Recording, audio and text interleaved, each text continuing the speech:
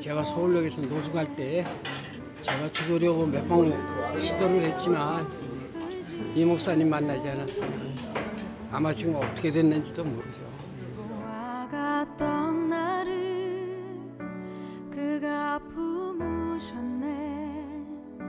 죽어가던 나를 그가 살리셨네 하나님의 회복에 시켜 주시면 길거리 노숙하시는 형제님들을 어, 구원하는 돌보고 구원하는 그런 일을 감당하고 싶어요.